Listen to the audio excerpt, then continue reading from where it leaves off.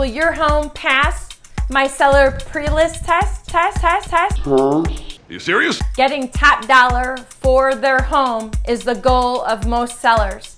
If you pass my test, selling your home for top dollar is within your reach.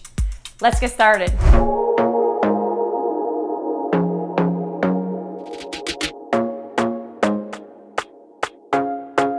I'm Karriann Graf, a local realtor in Key West, Florida, and I assist sellers in netting the most amount of money when they're selling their home. Do you want to lose money when selling your home? No! God, please, no! No! Of course not.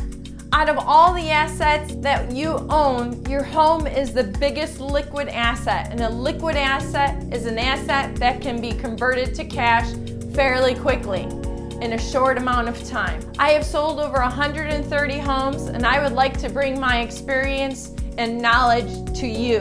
How's your curb appeal? Is it thumbs up or is it thumbs down?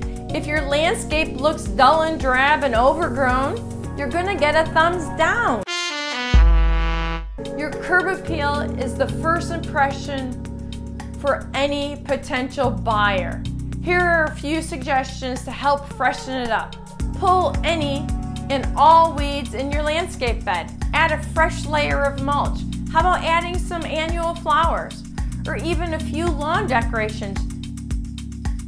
Trim your trees, give them a fresh look. One of my biggest recommendations is making sure that the front door is freshly painted. When the thought of selling your home enters your mind, the first person you should hire is a real estate professional like somebody like myself. I'll give you recommendations and explain exactly what buyers are looking for in homes in Key West.